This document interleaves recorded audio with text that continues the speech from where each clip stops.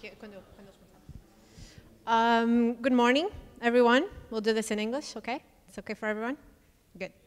Um, I'm here to present you the Orange Room uh, program. So today we have to start off how custom elements are changing the game with João Teixeira and José Santos.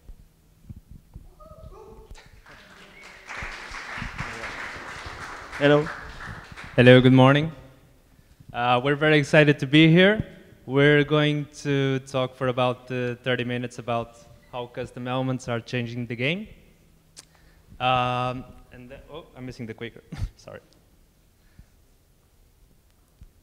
Uh, my name is João Teixeira. I'm from uh, Jumia Travel. I'm a web engineer there. I'm José Santos, also a web engineer at Jumia Travel. If you guys are unsure, I'm the one holding the monkey. I, I don't have one, no. This is the agenda for this talk. We're going to start with a little introduction on web components, what they're made of. Uh, then Jose is going to jump to Polymer and show you guys a little demo. And finally, we will thank you for coming. All, yeah. So guys, uh, let's start off. Um, let's start with going just a little back to the past. Uh, we're going, we're going to travel to, to the future, or past to the future, to the 90s. And let's think uh, a little bit how we were uh, building uh, web pages uh, in those glorious times. Probably most of you remember those nice GeoCities web pages. Uh, as a developer, we had a, a predefined set of custom of uh, HTML tags that we were able to just grab, put together to define our web pages. If we think a little bit more, this is exactly what we still do today, right? To define our own um, web documents. But also as engineers, uh, it's cool to have this predefined set of uh, HTML tags, but we always think a little bit uh, out of the box. We want to do uh, more custom things, uh, have our own ideas. So we always try to find tricks to, uh, to actually uh, do more with multimedia and stuff like that. So we jumped to other technologies like Flash, uh, we use iframe and Ajax. But do we still need to do those tricks today? So this is João. We'll be talking a little bit more about something completely new. So, with innovation in mind, we developers try every day to improve the way we work, to be more efficient, to be more practical in our approaches. And as developers, while building any kind of web application with considerable scale, we want to be able to reuse the, the same logic and interface we, we put through, throughout the app. And that's why we divide our application into smaller and more manageable pieces. Because as we know, if we divide big, a big problem into smaller problems, it will become easier to solve them. And that's why we divide our application into components. Components gives us reusability. They must be easily reusable. In the same or in other projects, we should easily be able to have one or more instances of the same component in the same app. They give us composability. It should be possible to create more complex components or even entire applications uh, from a collection of components. They give us encapsulation. A component should be a self-living organism, completely separate from the main application. This will increase, of course, reusability and composability. But this is not a new concept. We have been using this for, for, for, for years. Nowadays, this can be achieved by relying on these awesome JavaScript frameworks capable of providing this kind of abstraction. They allow us to build big complex things out of smaller, less complex things. And this is great because the web itself never really provided us with a clear way of doing this, never really provided us how actually design and build our own components. And, but as we know, the web, it's always evolving. It's an ever-evolving platform. So it never stops evolving. and we had some epic battles throughout the years. We had Flash versus HTML5.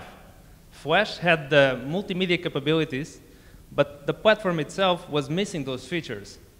So HTML5 brought them along, and because we needed standards and low-level APIs, they provided us with those multimedia capabilities right inside the platform. Or even a simpler case of the date picker plugin versus the input with type date, which will open the platform's date picker. And from this constant evolution, the web components were born. Web components are just a response for a common need. It's the web platform evolving once again. Web components gives us standardization. Without standards, there is chaos. Is each man from, for himself. Standards gives us security, reliability, and compatibility. We want our components to have the same behaviors on all vendors. Web components gives us interoperability. Your components can transcend frameworks. They can be used in multiple projects of different technology stacks. And because of that, they will probably have a bigger lifespan. That said, let's take a look at the web component spec. The web component is just an umbrella term for the following four web APIs. HTML templates, Shadow DOM, custom elements, and HTML imports. But we'll, we'll go one by one just to see how they help us build a web component. The HTML template. This is where we're going to define our reusable code. In its most simple terms, it's just a tag where you can put your HTML in it and nothing will be rendered. The browser will parse that information, but nothing will be rendered. You can have, for example, an image tag that the browser will not fetch that image, or even a video with autoplay in it that the browser will not play it. it. It's code that will not be visible for our users. For example, let's imagine we are building a social website with many user profiles, and we want to build the same user profile for every single one of them, and we, we want to be able to reuse that code. So what can we do? We create our template tag with what, with what markup uh, profile should have. We then stamp it with a little bit of JavaScript. We just fill out the user's name. We clone the template, fill out the user's name, and then just append it to the document. Easy as that. Simple, but yet powerful. Shadow DOM. This, this is the API with the coolest name. It provides DOM and CSS encapsulation. This makes DOM, this makes Shadow DOM a key block for web components. So let's say you're building a component for a big application and you want it to look a certain way. You design it that way. But if your application CSS is not carefully organized, the style will leak into your component, and we don't want that. We want that that uh, that the, the, the component itself will not be uh, uh, put, will not be affected by the global style. So that's where Shadow DOM shines. You get these boundaries where nothing can bleed in or bleed out. Your component will be completely encapsulated. And a cool fact is that the browser vendors have been using it for their own components, like the video tag you guys see right there.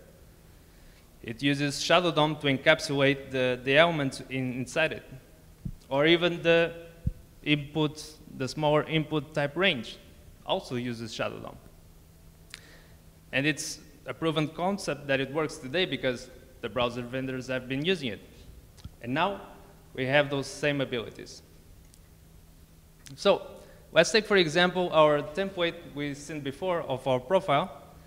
And let's say that somewhere in our application, the Quest profile was already defined.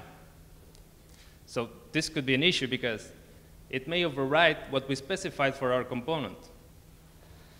Without Shadow DOM, our component will be affected. It will have the background yellow. But with Shadow DOM, it will be completely encapsulated and will not be affected by the global style. Custom elements.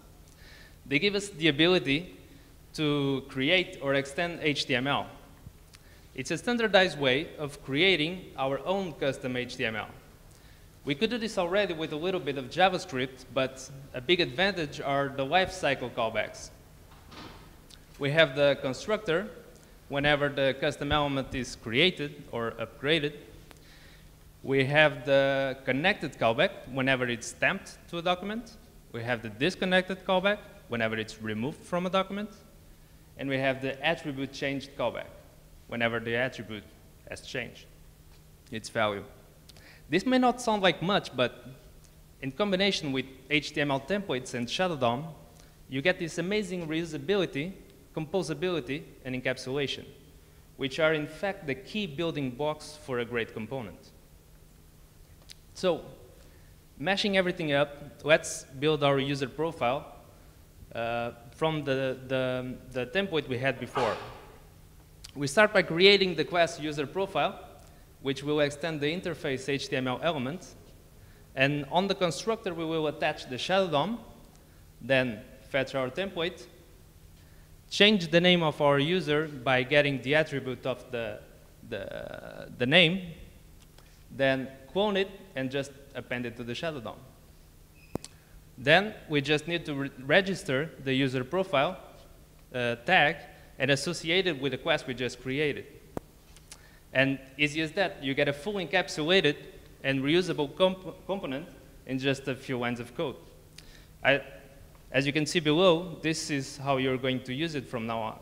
Simple as that. And the last API of them all is HTML imports. Allows you to import your dependencies. Uh, you can add your web component to an HTML file and all its dependencies and just import it wherever you need it. And you're ready to go. You're ready for you to start using that component. But the question is, can we use it today? Uh, it's already stable in Chrome, Opera, and Safari. Firefox and Edge still need some polyfilling, but yes, we can start using it today. But using the platform today doesn't mean use only the platform. Yeah. Um, may I? Thanks. Uh, so personally, I've been using web components for, for a while now. And I can tell you guys, uh, web components are really great. So you can uh, reuse and have all those abilities that João just talked about. And this is very powerful because you can share across platforms, across websites, across projects. But there's also another thing that I learned about uh, uh, web components. It is hard, seriously. It is really hard to maintain. It's hard to understand each of those events when your attributes have changed, to, to compose and to um, aggregate all the features that a web component has. So in order to simplify a little bit on our life, because as a web engineer, we are super lazy, and we don't want to work hard, we want to play hard, um, I'm here today to talk about Polymer. And Polymer is a very slim library, it's very small, and the only purpose of Polymer is to make your life easy when you're building web components. Polymer will give you some nice features like it will ease the registering of elements when you're composing a lot of elements. He has his own lifecycle callbacks that will manage the lifecycle callbacks, callbacks that your browser understands. And with these lifecycle callbacks, it also gives you the properties mutation observation. You will be able to understand where the value of your properties has changed so you can use them inside this data system. It has the Shadow DOM template management, which is easy to use. You don't have to actually uh, call for the Shadow DOM, attached to your element, and etc. We'll be seeing that. And the data binding, which is part of the data system from Polymer, which we all love when we are talking about other frameworks like Angular or React, the possibility to actually see in action the values of our attributes change. So I'm sorry because uh, the slide is dark, and probably you won't see it clearly, but this is João's example uh, about uh, that small template for uh, the social media website. And this is um, how you build this custom element if you use the native platform. Uh, let's see how it changed when we use Polymer. So to start off, you need to actually import Polymer, which is up there. uh, and you can wrap all this JavaScript code inside a DOM module uh, tag. This should be enough to be uh, still working uh, or properly working. With this, with this DOM module, Polymer will manage for you the, the shadow DOM uh, encapsulation. So the next step is actually to extend the polymer.element class instead of using the HTML platform uh, class. So with this, now you are able to use all the other features about the events, callbacks, and about the attributes properties. You, you have now available for you this uh, properties attribute where you can uh, declare all your attributes and you, be, you will be able to observe when the value of these attributes changes. So this will be uh, attached to the data system of Polymer. With this, you don't need any more than to uh, manage the template, so the Shadow DOM template. So this has become slimmer. We removed it. And with the fact that you have used the property, you don't need anymore to actually look at the properties and to, do, to write your own JavaScript to understand if the properties has changed. You can simply, simply use them directly inside your template with this mustache-like um, syntax where the values will change when your attributes are changing. So if you look at the final uh, result, you can see that almost all JavaScript has gone, and it does exactly the same as it was doing previously. Finally, we just need, we can use the, the is property of your element to actually attach to the, to the, to the platform, to the DOM. So Polymer is very powerful for you to create uh, custom elements, but you can go even further. You can even build entire applications around custom elements because a custom element can be, for instance, um, kind of front-end controller where you uh, orchestrate an entire application. One component uh, knows all and will put all components talking together. And this is possible because the team of uh, Polymer's team also gave us um, this very awesome uh, set of tools, which are, is basically an application, a client tool application that enables you to really fast start developing components, entire applications from templates, build your application, linting your application, or even test with the test suite that they, that they come if you do uh, unit testing for your components. If you look now, it's, it's really nice because we have been talking about this for a while and components and, uh, and it feels nice. But now let's look at a real world example. And us at Jumia Travel, last year we decided to rethink the way we were doing the web mobile on our own application. And we built this new uh, entire progressive web app, which later on to, today there will be a talk about this, um, for our own website, because we were searching uh, a more reliable website, faster, and with less data consumption. And we built this entire progressive web app with web components, all about, all around Polymer, uh, which is a lot our, our work daily. Another curious fact, if you looked since Chrome 59, even Chrome is made with custom elements, custom element done by um, all build with Polymer. You can check on your settings on your browser and you will see Polymer being imported to your browser. So today we decided to bring a, a small demo um, to show you how custom elements actually can be uh, used for you guys to use them, not only as like plugins, like to be understood like jQuery UI plugins, where you define a nice calendar or stuff like that, but you can actually build components that are smarter. Components that can integrate with external services or components that can take care of the capabilities of your phone. So we built this application like in a few hours. Uh, it's not probably the best one, probably has a lot of bugs, we're not sure really. Uh, and probably only works on Chrome. Uh, I encourage you all to, to, to take a risk at the Q, QR code right there. And, uh, and make, and make your own video right now if you want to. And let's check what, uh, what it does. I need to pause this microphone because it, it, it will all be deleted afterwards, so don't worry about uh, repercussions.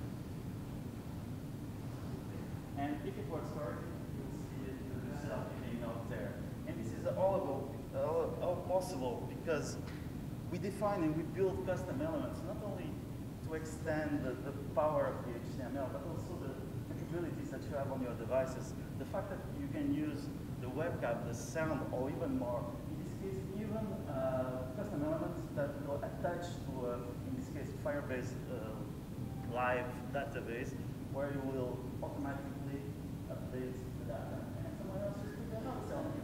Yeah, more. Have fun, guys. So this is really uh, all that comes with custom elements and with a new way uh, to think a little bit more out of the box on how now we have a, this powerful API and we are free to be creative and to reuse and to share more um, our work. So we have this nice thank you slide that was on the agenda.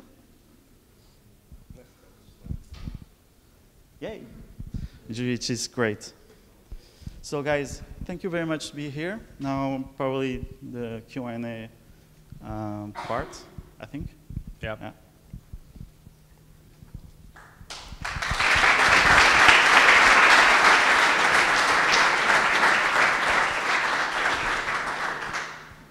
So questions, who has them?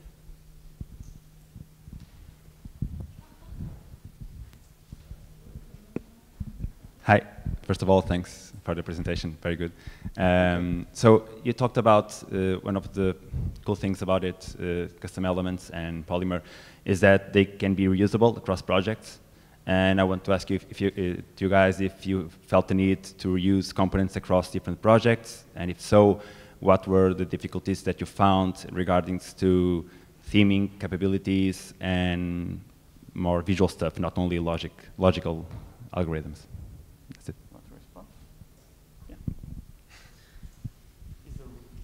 Yeah, that's perfect. Well, uh, regarding theming, we uh, in in Polymer we have uh, the the we can have a shared styles template, a shared styles CSS, which you can include uh, in your uh, in your uh, in your Polymer elements.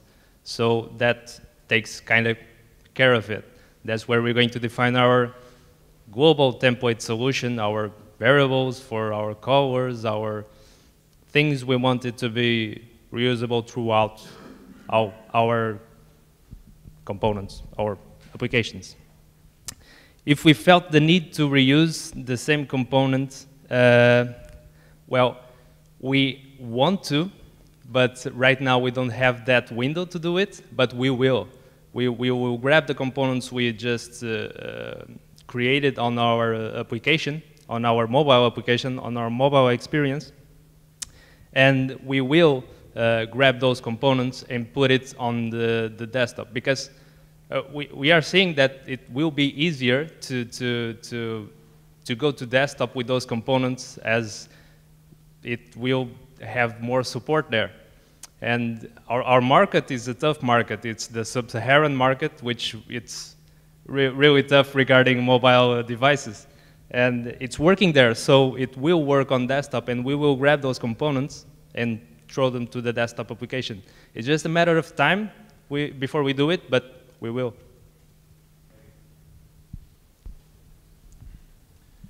Hello. Hello. Um, a quick question. Um, is it possible to have, for instance, a thank you uh, component or multiple thank you components um, having the same tag name but with different implementations? Um, I, I, don't know if you understood the question.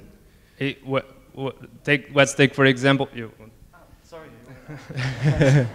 Sorry. Uh, let's uh, take, for example, the, the thank you uh, component yeah. right there. Uh, you are saying that if we can we re register the same component with the same name? The same name, but with mu multiple implementations. For instance, let's say that I've, that I've made a thank you component in a repository, and for instance, my friend, my friend over here, he also has, has done the same, but with the same tag name. Is it possible to have the, the two components in the same application? No, I don't think. No, uh, which is a kind of uh, self-explanatory because then the browser is unable to understand which one you're trying to use. Uh, I even go a little bit further telling you that currently, if you understand how the browser uh, processes and create the DOM tree, uh, while it's reading all the HTML tags and convert them on objects like the input HTML, uh, the input element and etc. Um, you could th think that maybe you could actually instead of just extending the HTML object, you could extend the input element uh, or other elements. You cannot do that also. The only one that can be extended is the HTML element um, currently, which the specs don't allow for now to do it. Um, and this comes because of the type attributes, where uh, if you think a little bit about the input, where the same input could be type date, that uh, type uh, I don't know, type range or type something else, and you try to extend that one, um, in the future, the vendors can implement more types. You will need to also re-implement completely your components, which is probably not a good idea. So currently, uh, no, it's, I don't think it's possible. And when you define, because you need to define, there was this last line of JavaScript when you say uh, dot define and the name of your element yeah. and the instance of the element, you cannot define twice the same um, the same ID. Okay. Um, following following up, um, is there any sort of convention, uh, for instance, namespacing the um, the component, the tag name in this instance, uh, allowing uh, multiple uh, instance by um, defining uh, a namespace, for instance, I could call um, moxie thank you, and my friend over here could call foo thank you. Is that possible? Or, or, is there any sort of convention around the community for this kind of uh, problem? Um, the, the, the only rule for now, you're, you're saying about creating the, the, the name for the register the, uh, the, the, name, you just need the, to have in all of them the dash, the, da the is it called dash, dash, dash, dash, yeah, dash. The thank you dash you, um, the thank dash you. Uh, that's the only rule for now because you don't want it to have conflicts uh, when HTML6 comes or something like that. Uh, because the, the, the vendors uh, himself uh, use uh, only one wording for each for each element, so it's it's the only rule for now.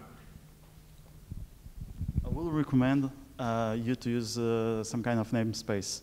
On our applications, we have more than one uh, completely built around uh, custom elements. Our elements always starts with our namespace, horizontal line dash or whatever, something else. Uh, even if you want to share, you build a component, put on your repo, want to share on a node package or something like that, it's easier so it doesn't mix with other components that have the same name. Thank you. Anyone else? More questions? Feedback, ideas? Sure. I have a nice one. I just remember. uh, we need to make some time. Huh? Um, if you're curious, our the, the our mobile website that uh, was shown over there with the, GIF animation. Uh, I don't know if you can just go back a little bit. I really love this cat. Uh, this guy over there. Uh, it's an application built with more than 200 uh, custom elements. So don't, it, you can think that uh, doing a lot can be complex, but it's possible. It's all about orchestration and power. Have any questions, João? Yeah. What happens to the shadow dom at night? this is our internal shock on the shadow. There's no light. Yes. Can do a lot of jokes around this. Well. Okay. No more questions? Are we good? Uh, thank you, guys. Wait, wait, wait. One more. One more. Ah, I was just running away. Just one, one simple question. I wasn't here when you started, uh, but could you please uh, speak me just a little bit about uh, your folder archi architecture? It, it is po possible. Ah, well, it's, this is very simplistic. Uh, this is a JavaScript application. Uh, you have like the, the front page, the index.html in the, in the, in the route, in the, the root, sorry. Um, we have a source folder, maybe. Um, inside the source folder, I don't know really by, uh, by heart, but then you, you should divide, like, you, if you have components that are like data managers, or they are just managers, probably you're gonna have a folder like managers. And if you have others that are elements, just basic elements, like we have, for instance, the five stars, which is a, an element that just outputs from one to five stars, uh, you can put that on elements. Um, when you switch between pages, we don't call it pages because it's a single page application. We call them fragments, which comes from the Android um, technology. We put them inside the fragment folder and stuff like that. So I think there is no like any standard. Um, it, it, it comes from you to actually understand what each component does. And in my opinion, should only do one thing um, and organize them by the type of work they do. And then you just include them when you need them. Um, I guess, yeah. Okay, thank you.